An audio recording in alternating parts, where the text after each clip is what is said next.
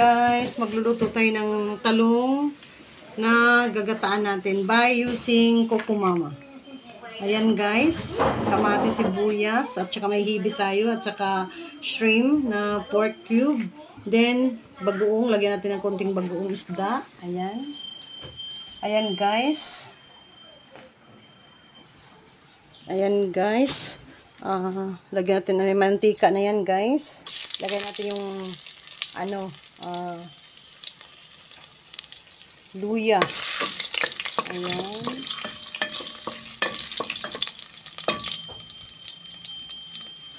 Luya ang ating ilalagay. Ayan, luya. Ang ating, lagyan na natin yung sibuyas. Wala tayong bawang guys. Wala nang stock. Ubusan tayo guys. At then, ang ating kamatis. Ayan.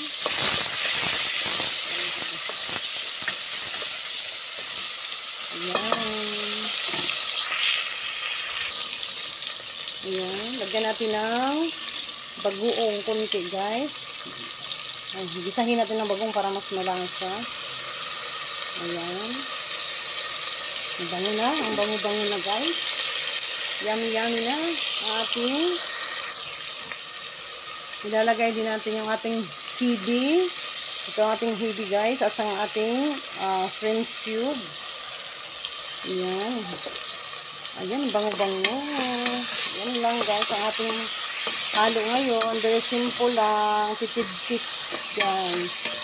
Ayan. Kasi kung araw-araw laging masarap, ubus ang ating budget. Yan, ganyan lang guys. Very simple lang guys. Ang ating talong. Isunod na natin din ang ating talong. O guys, ay, ayan pala ang aking mga alaga. Nilipat namin dito para mas maalwan. Ilalagay na rin natin yung ating talong. Ayan. Ilalagay na natin ating talong at ating itong gataan. By using kukumama. Ano yun? May bibili. Saglit lang. Pasuyo nga anak. Pabigay nga muna. Busy pa ako. Nagluluto pa ang mama. Ayan, mama and kuku mama. Parang rhyme guys. Oo. Nagluluto ang mama kay kuku mama by using kuku mama. Andoon anak. Ano? Ayan, kasi dito. Buhos ng tubig. Eh, tama na. Huwag masyado anak. Baka tayo ano kasi gata lang yan eh. Ah, gata ba yan? Oo, gagataan ko lang yun. Tapos mamaya-maya lagyan suka. After after suka, gata na ilagay. Yan, ganyan lang guys. Very simple lang ating luto. Pero alam mo ba, napakasarap nito. Ganitong luto. Simple lang siya pero yummy yummy sobra. Guys, kung gustong makatipid guys, ganito lang guys, ano, gawin nyo. Ah, may hibi ka lang, may bagoong, yan, may gata. Okay na yan guys. Kahit anong gulay ilagay mo dyan guys, perfect yan. Simple lang ang luto. Magtipid-tipid din tayo minsan. Kailangan natin din ng ganyan. Ayan, guys. Pag, ano natin, takpan natin to. At mamaya, lagyan natin suka. Tapos titimplahan natin after gata na. Ayan. Ayan natin yung ano. Ko na napakita sa inyo pagbuhos ng kukumama gata. Ayan na guys. Nilagay ko na ang ating kukugata. At masarap na yan guys. Natimplahan ko na. Very delicious yung ating uh, talong with gata. Yun lang. Simpleng luto lang guys. Masarap na siya guys. Perfect yan guys kung may piritong isda. Ayan guys. Uh, kaso wala kaming ano ngayon guys. Uh, hindi ako nakapamili ng pang ano ngayon. Pang puro gulay lang. Yun lang na ano ko ngayon guys. Kaya gulay tayo guys. Yan. Tipid-tipid. Ang isip ko yung ulamin ng aking dugi ngayon.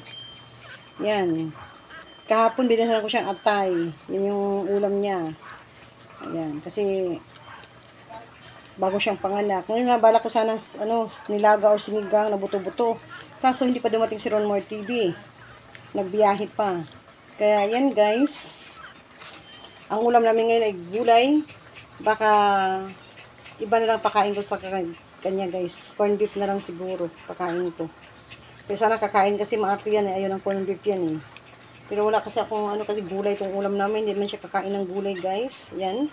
Update ko sa inyo yung kanilang mga kanyang mga puppies. Very ano na. ah, bitlog-bitlog na. Ang ganda-ganda na. Oh, oh di ba? Nilipat namin siya dito guys. Sinaba namin yung karton. Nilipat namin dito sa ano. Yan. Tinanggal ko lang yung screen ng ano, bintana para may hangin na pumasok dito. Dito siya nilagay. Ayan. At saka ito guys ay luto ng aming lutong gulay. Ang sarap yan. Ako, sarap na sarap. Sarap i-partner ng tuyo kaso lang ano muna ako sa tuyo ngayon kasi lagi na ako nagtutuyo. Every time na may ulam, kahit may ulam kami, nagtutuyo ako kaya pahinga muna sa tuyo guys. Pero masarap to guys talaga. Thank you guys. Maraming salamat sa inyo. Hanggang dito na lang aking ano, thank you sa uh, silent viewers, mga supporters, and members. Thank you so much sa lahat na natiwala pa rin sa aking channel. Maraming salamat. At sa hindi pa nag-subscribe, please subscribe. At saka, uh, love nyo po. Lovein nyo po yung aking channel. Very simple lang talaga aking channel. Ito lang yung ano ko, mga content ko about sa uh, daily life ko, magluluto, uh, gawa ng merienda, mag kung ano na lang guys, kung ano na yung daily life natin, yan guys. Maraming salamat. Thank you so much guys. Masarap, yummy yummy. Thank you, thank you so much. Bye. God bless you all.